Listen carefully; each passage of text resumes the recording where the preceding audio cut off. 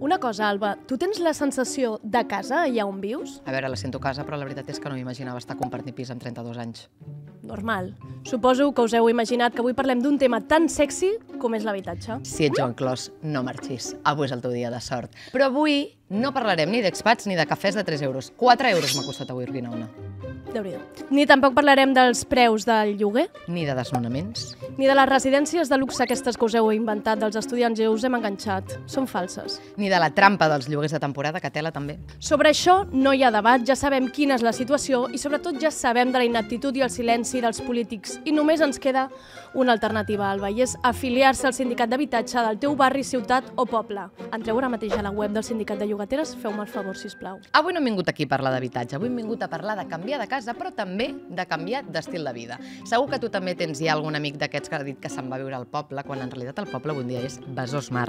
Fins i tot conec casos d'exparelles que han de viure juntes perquè no es poden pagar un pis per separat. Quin drama. Potser el que ens falta és imaginació, la capacitat d'imaginar noves maneres de viure, habitatges alternatius o construccions més comunitàries. La teoria ja ens la sabem totes. Aquí volem escoltar avui experiències de gent normal com nosaltres que ha decidit que no vol seguir pagant un cau sense llum aquí per 1.000 euros al mig del Raval. Sí, a tots els que marxeu fora a obrir centres privats de ioga, això no s'hi val. Espero que almenys li compreu l'enciam al pagès i no que feu la compra online a casa Matller, que us conec. El que volem és imaginar alternatives i alternatives més enllà d'aquesta opció pija dels emprenedors que han començat tots a un garatge o l'altra opció, que són aquests pisos taüt de 4 metres quadrats que tant agrada al país perquè poden titular Llega el coliving o cómo vivir en un colegio mayor de lujo hasta los 40 años. Titular real. Però són moltes les preguntes en aquest nou escenari d'habitatges alternatius. És una opció que realment està a l'abast de tota la ciutadania? Qui s'assabenta d'aquests projectes? Com entres dins d'aquestes converses? Existeix el risc de crear mini-guetos que encara dinamitin més les escales socials? Només s'ho poden permetre els artistes, pot ser que estiguem envaint una miqueta l'Hospitalet. Qui té temps per fer quatre assemblees setmanals si no ens en recordem de fer la rentadora? Hem de rebel·lar-nos davant del sistema o hem de resignar-nos trampejant amb idees de bomber. Quan pararem de reinventar-nos? Som l'Alba i l'Andrea, benvingudes a la Torre.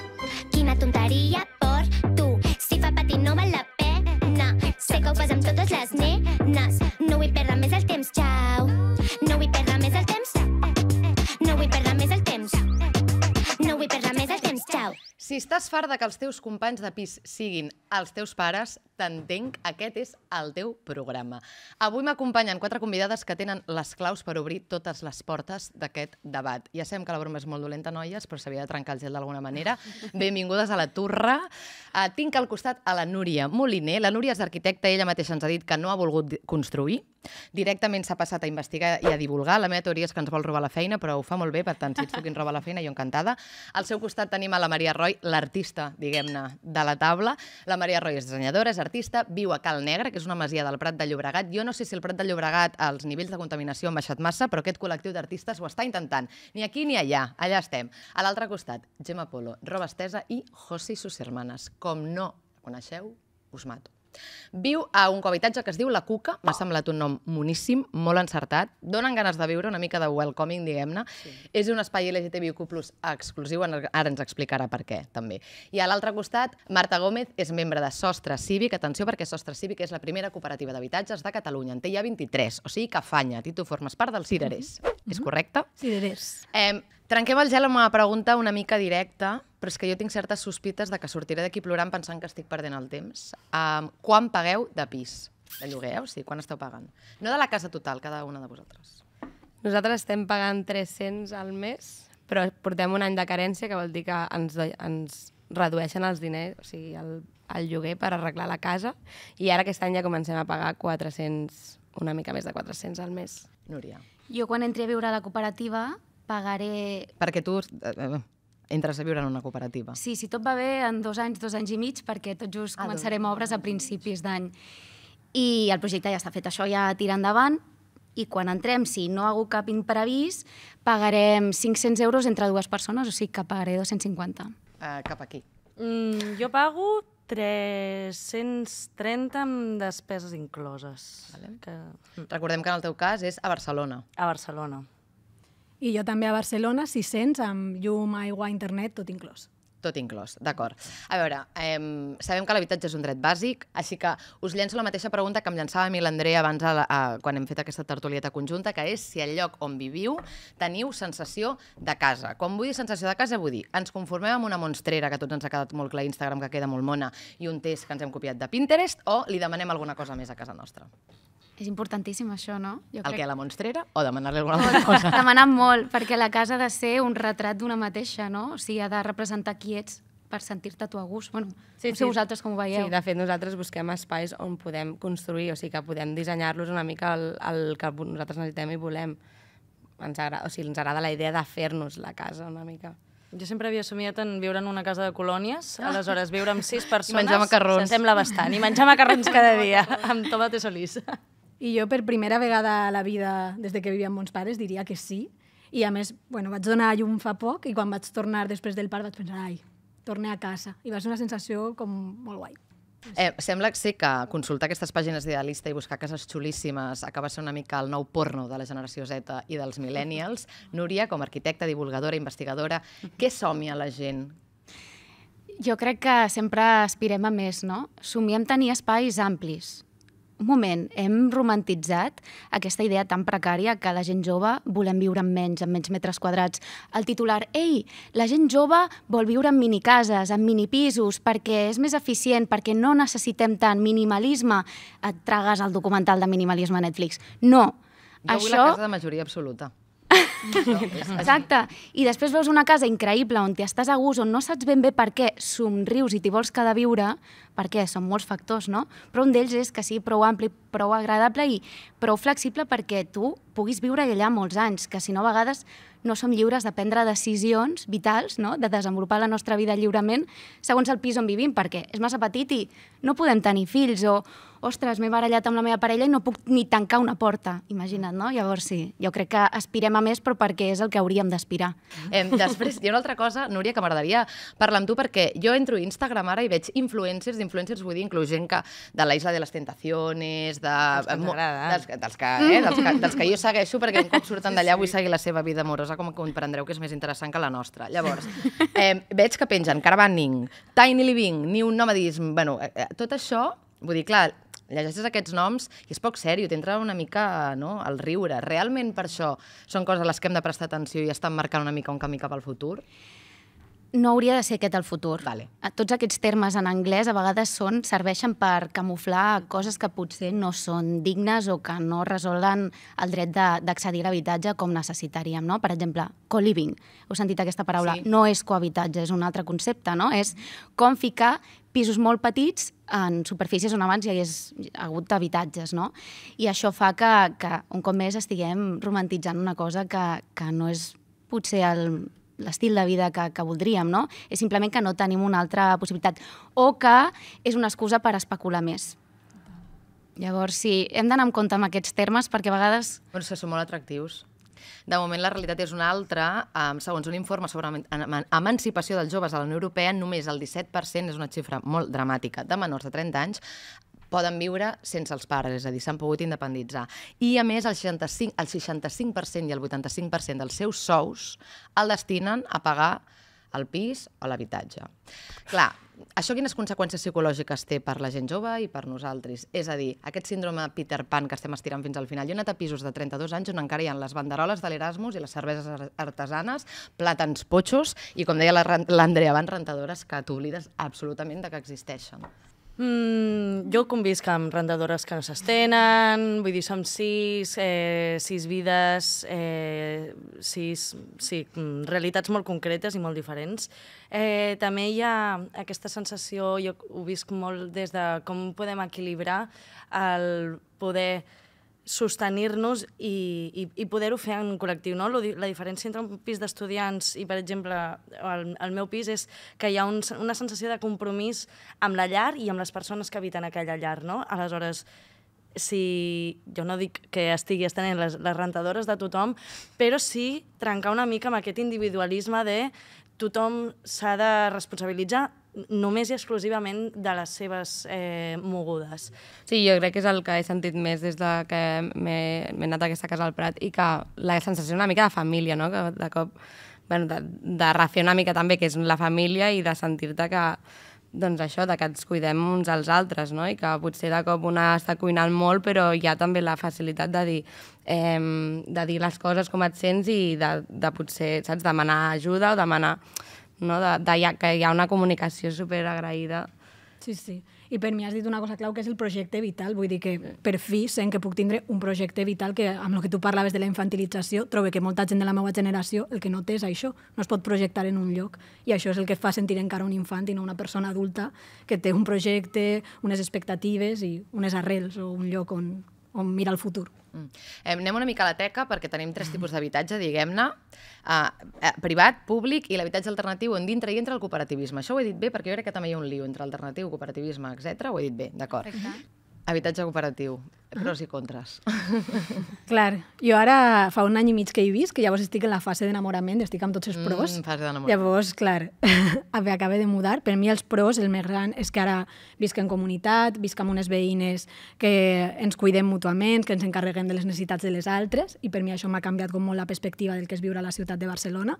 I després, en la vessant més material, és que he tingut accés a un habitatge d'una qualitat que per mi era impensable fa uns anys, és a dir, pues, amb, de nova construcció, amb uns materials i pensat amb uns criteris uh, d'eficiència de, energètica i que també fan que pues, siga més econòmic els meus rebuts de l'electricitat. Llavors, bueno, per mi tots són pros ara mateix. Tots són pros ara mateix. Eh, ah, vosal, cadascuna de vosaltres, eh? en quin moment veu decidir fer el salt cap a l'habitatge, eh, cap a l'alternativa, tu estàs en ello, tu, vosaltres ja, ja hi sou. Què us va motivar a fer aquest cel? Núria? A mi el que em va passar és com que estava intentant prendre moltes decisions a la meva vida, totes les parcel·les de la teva vida personal les volia, no sé, repensar, no? I, i com menjo, o com viatjo, o quin impacte tinc a nivell social i medioambiental, no? Com, com fer una mica de repàs i de, de consciència. I vaig dir, ostres, és que l'habitatge és una part tan important a la nostra vida, que ens travessa per tants costats i que et determina, que mm, és el primer que he de resoldre. Llavors, per feina, per sort, vaig visitar moltes cooperatives d'habitatge de Catalunya, d'Espanya, i em vaig enamorar i dic, ostres, és que tu visites una cooperativa d'habitatge i dius, m'hi vull quedar que l'edifici té plaques fotovoltaiques, que reaprofiteu l'aigua de la pluja, que està construït en fusta, que redueix les emissions de CO2, que a més a més feu suport mutu i cures compartides i és com una utopia no? d'una un, un estil de vida més esperançador en escala arquitectònica. És com un assaig no? de com podria ser el món dintre de l'edifici i que tant de bo arribi a molts més llocs. Vaig dir, vaig a, a muerte amb això i, i mira, arrel d'apostar, de, de llegir molt sobre això, parlar amb gent que hi estava ficada, doncs al final vaig arribar a una d'elles i amb ganes d'entrar a viure. Clar, és que, vull dir, jo escolto tot això i dius, eh, sí, mm, preciós, o sigui, a mi també m'encoratja moltíssim, però a la vegada, de la meitat de coses que has dit, jo ja m'he perdut a la segona, ja m'he acabalat, dic, jo vull arribar a casa, eh, estirar-me al llit i anar-me'n a dormir. Llavors, tu com te, com te n'assabentes d'aquestes converses? Com entres en aquests, en, en aquests cercles? És un terme molt nou. Què vol dir això de model d'habitatge cooperatiu en sessió d'ús? Són moltes coses per viure. Que complex, no? I què vol dir no és ni compra ni lloguer, és una cosa molt diferent. Llavors falta que, que ens arribi aquesta informació, però si tens una mica d'interès, passa per una d'aquestes sessions, visita la Borda, que va ser la primera cooperativa d'habitatge de Barcelona, i, i a poc a poc doncs, veus que, que és més fàcil del que sembla. Eh, quines són les reaccions de la gent del vostre voltant quan expliqueu que voleu mm. tenir aquest, aquest estil de vida? Eh, jeje, què?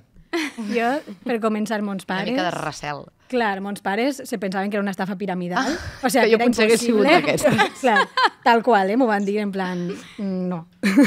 I, bueno, amics així també uh, estàs segura, però això què és, no ho entenien gaire, però he dit que ha canviat molt la perspectiva des de que hi visc, perquè llavors ara la gent ve, visita l'edifici, veu que al final vius en un habitatge de molta qualitat, que pagues un preu assequible i raonable pel teu lloguer i que al final, pues, amb les teues veïnes, què fas? Pues, poses la rentadora en un espai comú en comptes de tindre la ta casa, que algú necessita que li passeges a la gossa perquè no es troba bé i li passeges. Vull dir que no són coses de l'altre món i superintel·lectualitzades, sinó que t'ajudes una mica entre totes i que al final pues, hi ha coses que no les decideixes tu sol i les decideixes en col·lectiu. Vull dir que és molt més planer del que sembla quan ho veus i és tangible. Llavors jo crec que ara ja, que molta gent estem visquent i que el model es veu que és factible i que estem creant imaginari, més gent ja ho s'hi està apropant, i jo, de fet, molts col·legues ara que han, vingut, que han vingut a veure el pis s'han fet socis de Sostre Cívic el dia que el visitaven, en plan, "Ah, jo també ho vull, que això, clar.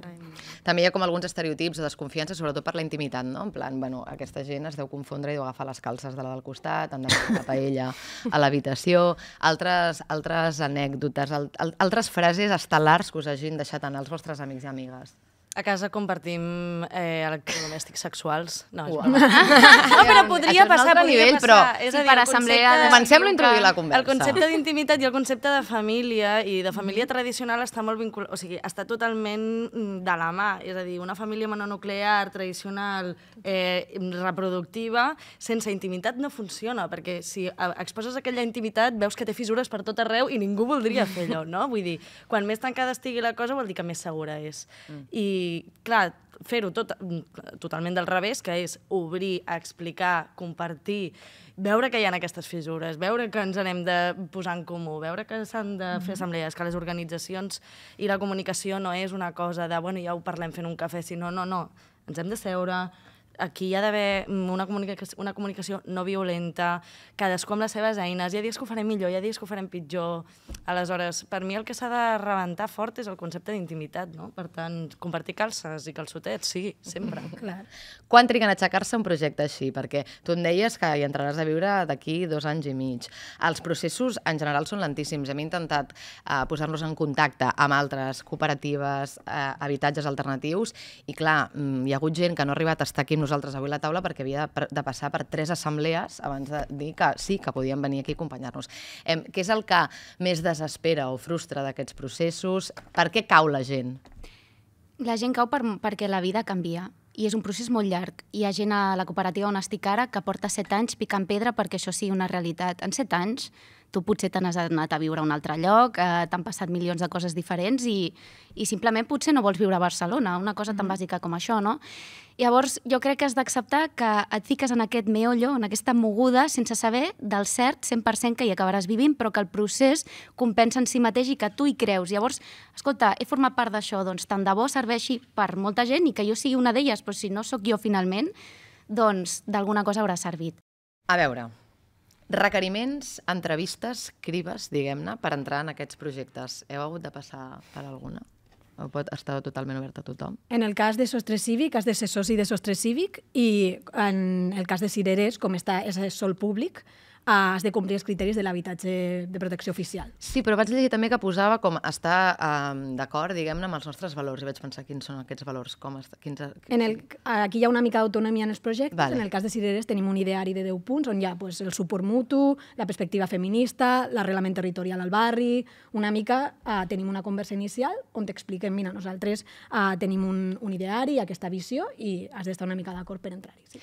I un cop esteu allà dins, coneixeu a la resta de gent amb la que conviviu, etc. jo pensava, a veure, si jo alguna vegada m'he enamorat, he tingut un crash amb alguna veïna, veí del meu entorn, com ha de ser conviure cada dia. Sé que estic tenint una mica un tòpic, però jo m'imagino que aquí hi ha d'haver una mica de safreig, que encara ens pot animar més a plantejar-nos eh, l'habitatge alternatiu. Aquí algú ens ho pot S'ha explicar aclarit per aquí persona, em sembla, paraules no? molt grosses i la gent ha de saber que també aquí hi ha una mica de diversió. Jo vaig tindre un crash amb, Ui, ui, a l'assemblea del projecte. A l'assemblea, eh? Total. No vas estar molt atenta aquell dia. Sí, a tot. Sí, sí, sí. jo sí. estava en plan, sí, sí, aprovem, aprovem tot i, bueno, ara el meu veí és la meva parella i de fet hem tingut un fill que és com molt titular, però és així. Maquíssima història.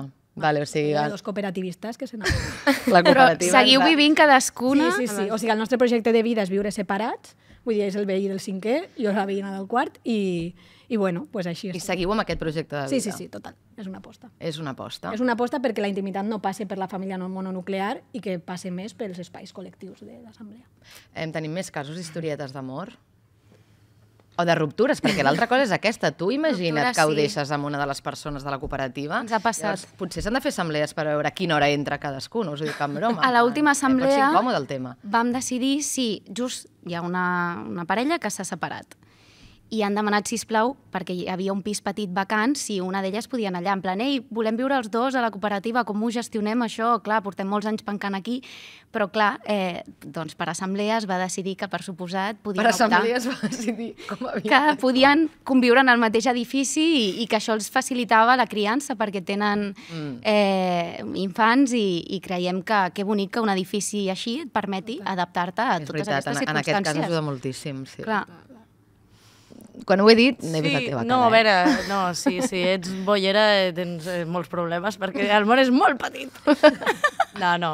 Eh, sí, també, bueno, com- viure en comunitat també es, eh, posa en qüestió el tema de, de, de, de lo romàntic i on fiquem l'amor i què és prioritari i què no és prioritari, no? En plan, jo sempre dic que visc amb les meves nòvies i que el compromís que jo tinc amb aquestes persones és bastant equivalent al compromís de parella que, que tothom més o menys podem compartir, no?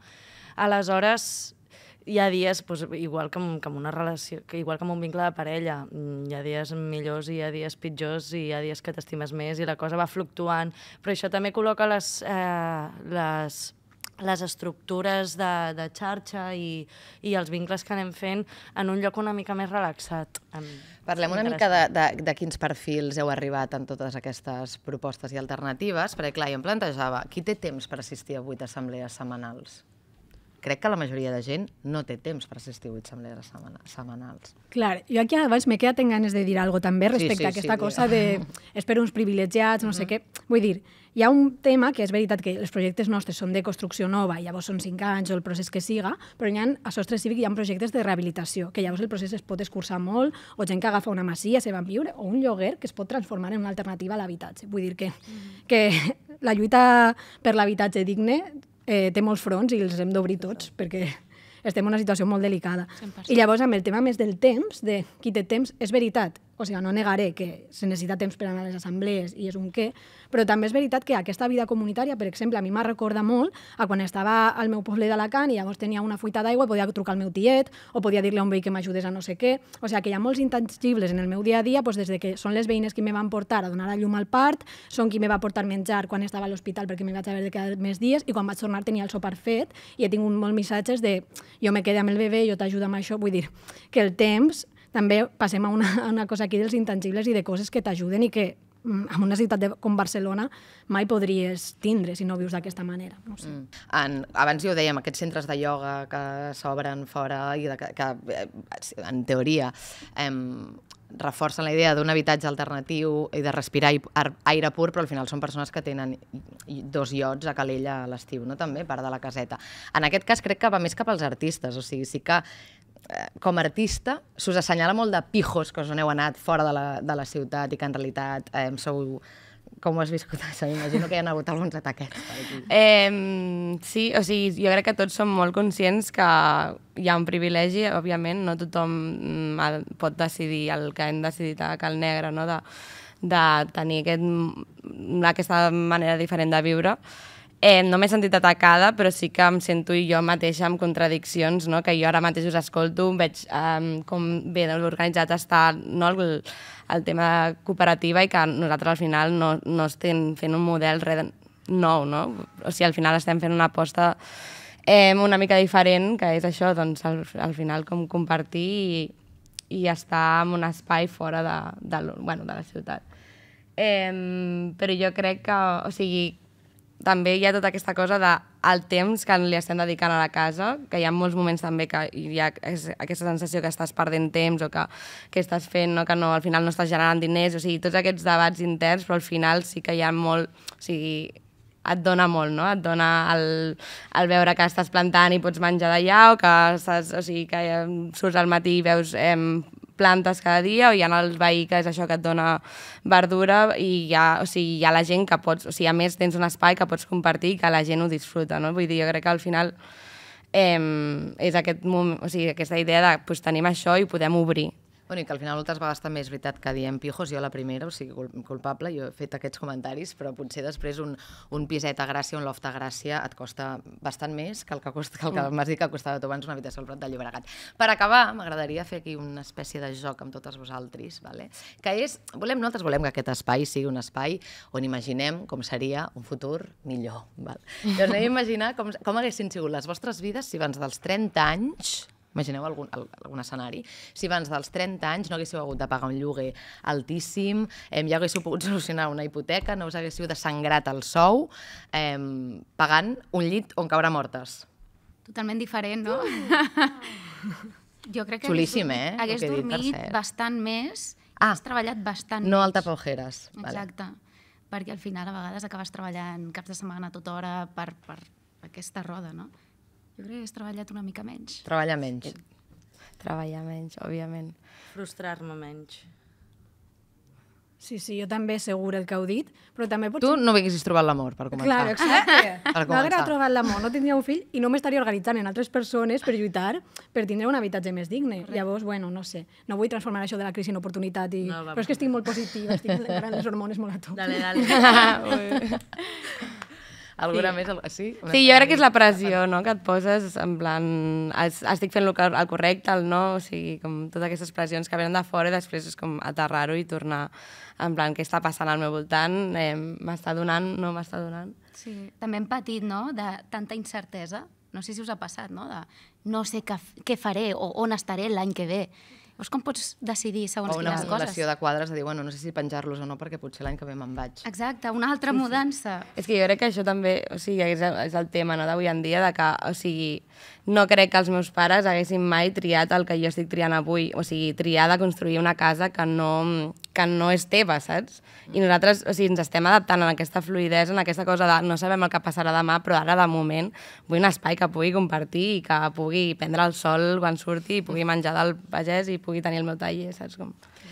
Doncs moltíssimes gràcies a totis per acompanyar-nos. Els que ens escolteu, ens veieu des de casa, no cal que feu les maletes, us comenceu a tornar bojos. Ah, no, me n'haig d'anar, però és una idea, és una alternativa que està bé que tinguem presents.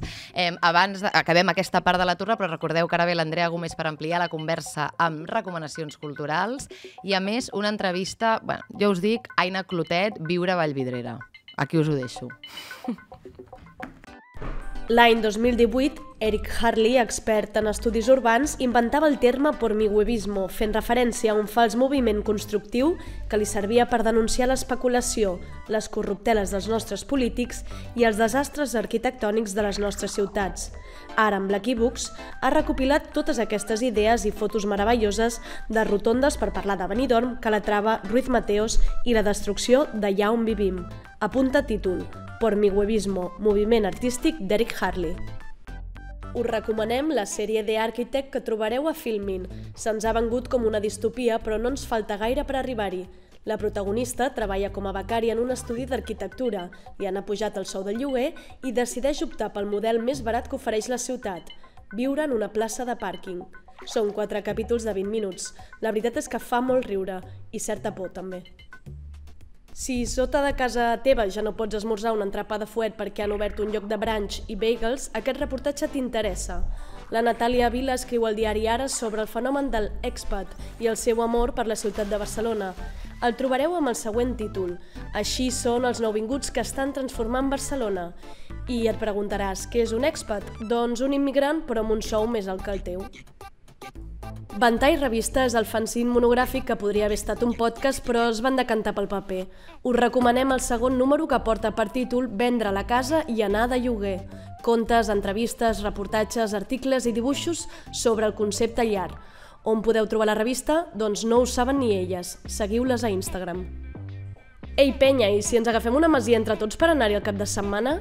Si has escrit aquesta frase més de tres vegades al teu grup d'amics pel WhatsApp, apunta la següent pel·lícula, Les vuit muntanyes, una adaptació de la famosa novel·la de Paolo Conetti que trobareu a la plataforma Filmin.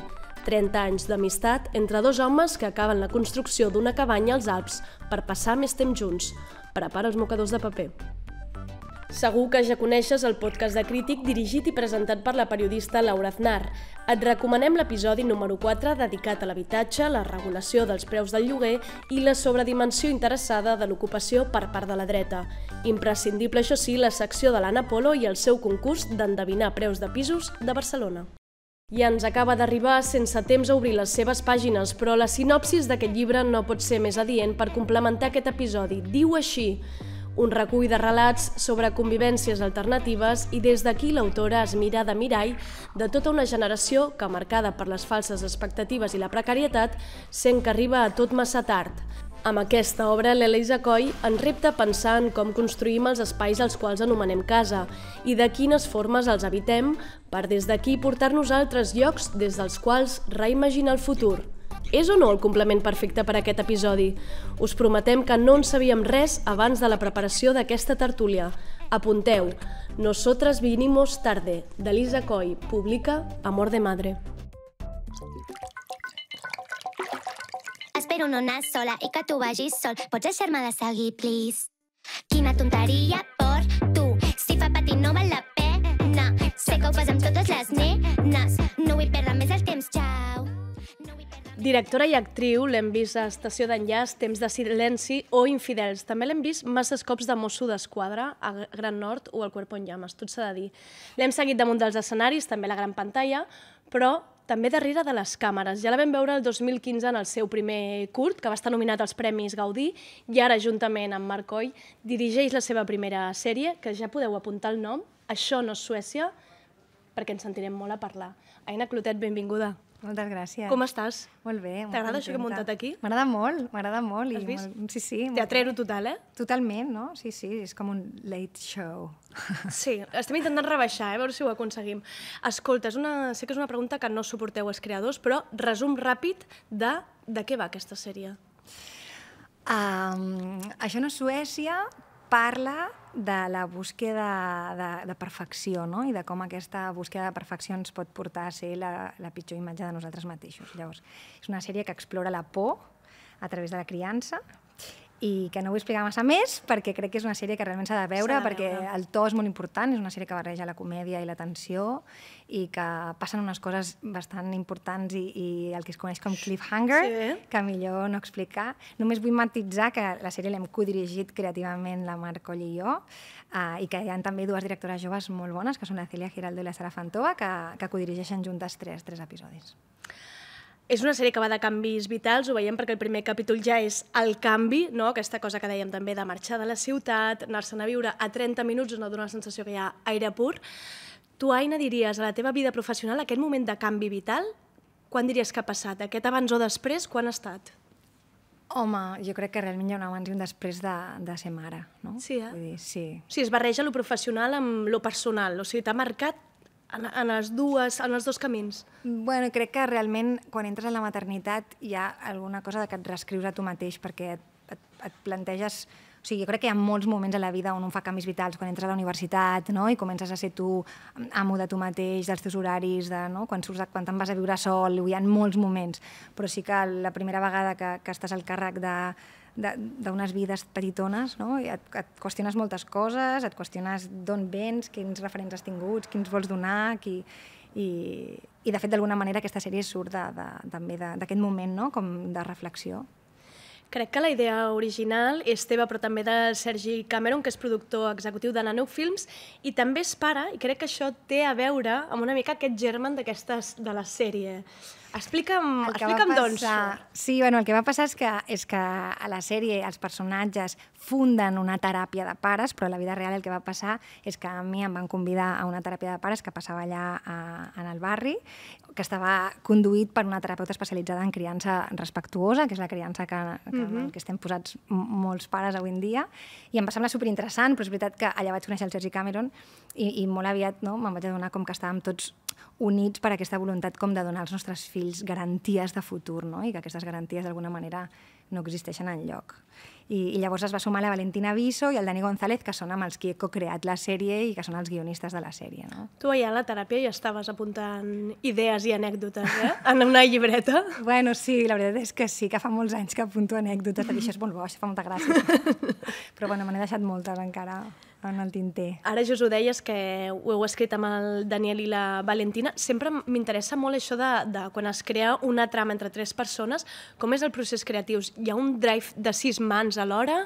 Com us ho repartiu? Bueno, com... en aquest cas la creació sí que l'hem fet conjunta i, i jo també vaig participar en el guió del primer episodi i després ells dos van escriure la resta dels episodis, la Valentina i el Dani, que són boníssims. O sigui, Sí. jo crec que també uh, que una sèrie funcioni, bueno, no sé si l'espectador l'haurà vist ja, però realment crec que, que és un projecte que, que té molta qualitat a nivell de, de guions, és perquè hi ha gent amb molt de talent al darrere, no? I, i llavors fèiem molt el que es diu com writing room, on, que són com guionistes junts, no? Tots llavors allà, tots fèiem com uh, brainstorming d'idees i, i després doncs, ells com ho escrivien, no? que té tot el valor del món. Jo és veritat que també he fet molt acompanyament de tots els Clar. guions i també, de fet, la sèrie la van seleccionar també a, a, a un laboratori de guió eh, que és de Torino, que, que és un laboratori de guió molt, molt prestigiós. Això va ser superinteressant perquè vam tenir un mentor que ens donava feedback i, Ah, que bo. i el fet de que és una coproducció europea també ha permès que rebéssim feedback permanent de- d'altres llocs, d'altres països que t'anaven donant visions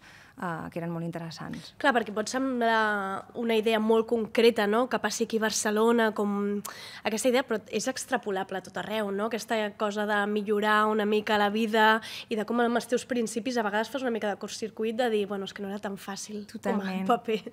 Totalment, i la sèrie, de fet, no va néixer mai per ser una coproducció europea, no? va néixer des d'un lloc molt particular nostre, de voler explicar aquesta història, de voler-nos enriure de nosaltres mateixos, de les nostres pors, de les nostres búsquedes de perfecció, i va ser precisament en aquest taller que et deia que, que quan vaig fer el primer pitch va despertar molt l'interès de, de gent internacional, no? de dir, ostres, és que jo conec aquest lloc, no és que aquest lloc no, Clar. no és un barri concret de Barcelona, sinó Clar. que és un barri de qualsevol lloc on un va a buscar aquesta vida millor, no? aquest lloc on en principi sembla que trobarem unes garanties d'alguna cosa i, i això existeix a qualsevol ciutat mm, Clar, el Versus Mar que parlàvem abans, o la nostra floresta, això és extrapolable a Suècia, Itàlia, a qualsevol lloc, estem tots, igual.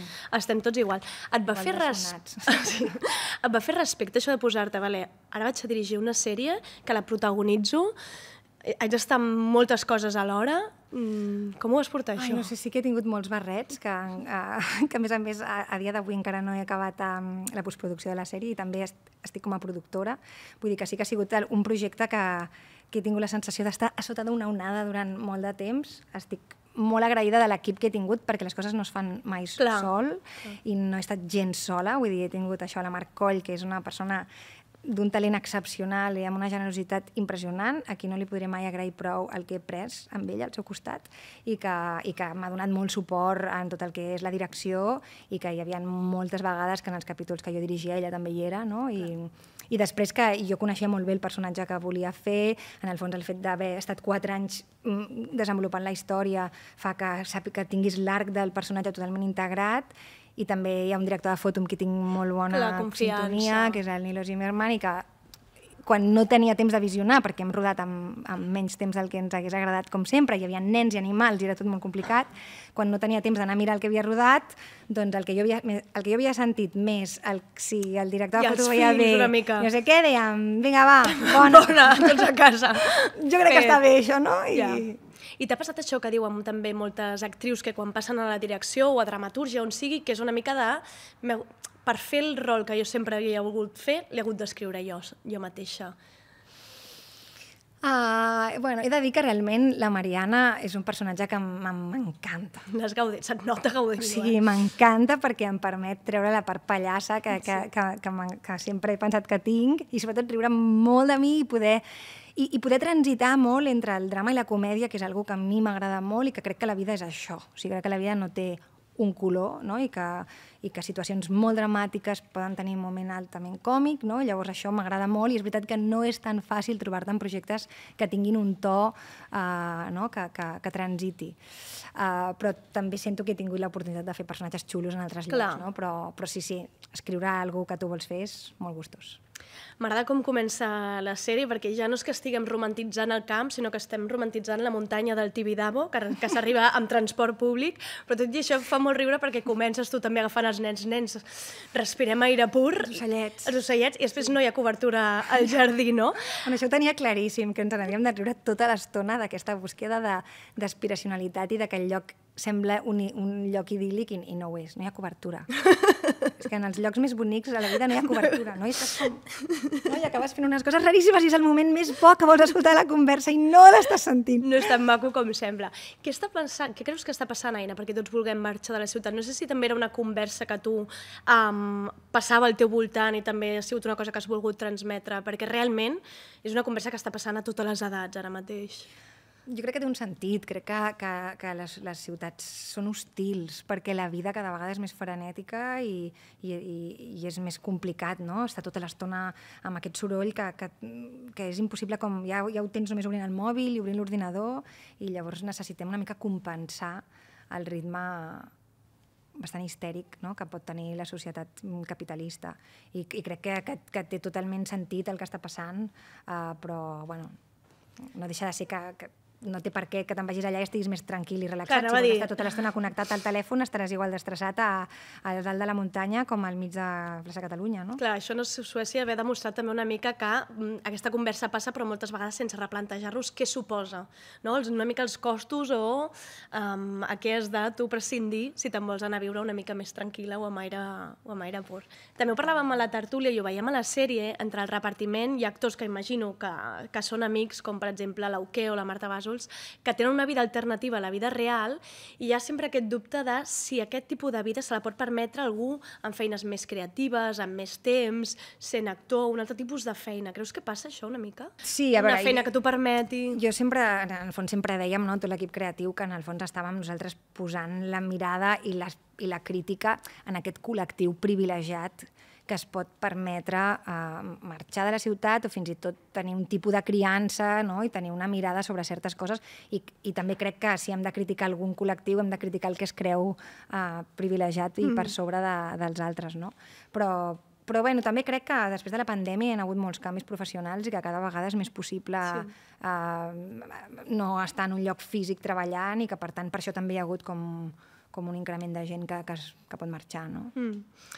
També està molt bé el primer capítol, com en Mireia, com parlem ara mateix a la vida real, que tota l'estona estem gestionant amistats, parlem de projectes, administrem coses a la família. I Multitasking. Sí, però m'agrada molt perquè aquests termes que semblen de recursos humans, en el capítol es van reflexar per tota l'estona es parla de projecte. Això és un projecte, els papes estan fent un projecte... Sí, perquè volíem que quedés molt clar i co- cosa que m'alegra molt perquè, perquè són els primers feedbacks que estem rebent no? d'una cosa que fa molts anys que estem nosaltres coent. Molts anys, perquè això quant temps porta? No, això, això ja, fa, ja fa 4 anys i mig, 5 anys que vam començar amb la primera ajuda de desenvolupament. Sí, sí, realment hem treballat molt sobre els guions, hem, els, hem, bueno, els hem dedicat molt de temps i també perquè aixecar una coproducció com hem acabat aixecant costa molt de temps, no? Mm -hmm. I llavors el que, el, que, el que volíem era que quedés molt clar que aquests, aquests pares en aquesta búsqueda de perfecció i aspiracionalitat apreten la vida, no? la precipiten.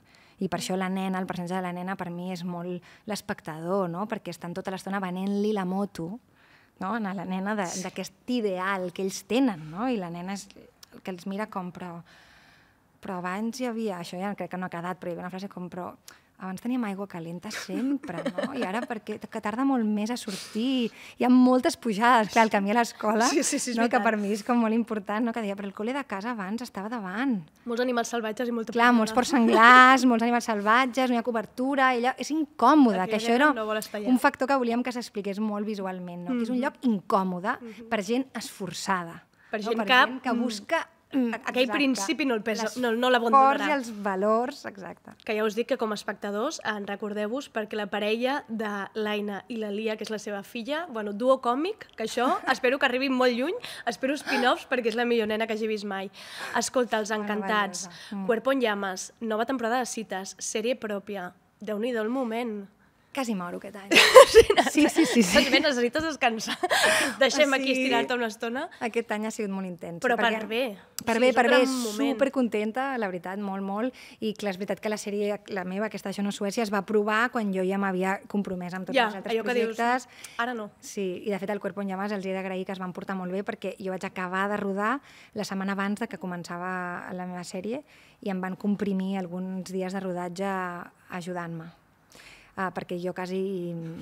Sí. No de- sabies ni com et Exacte. Però bé, han sigut projectes superbonics i molt bé, supercontenta. I ara què, Aina? Ara què et queda? Pues Ara descansar. Ara dis descansar. Ara descansar, tornar a casa meva amb els meus fills, de veritat, i dir, hola, què tal, la vostra mare ha Us en tornat? recordeu com us en recordeu? Sí, no, no, sí, sí. Vull dir que en el fons fem feines que són molt vocacionals i molt passionals i, i se'ns emporten per davant. Ara cal tornar. He de tornar. A les cerveses. Una miqueta, exacte. Apunteu la data, riureu moltíssim. Fa molt riure aquesta persona, de debò. Aina, moltíssimes gràcies Moltíssimes gràcies. Moltíssimes gràcies. He marxat a un altre lloc, aquí el bosc em sento millor.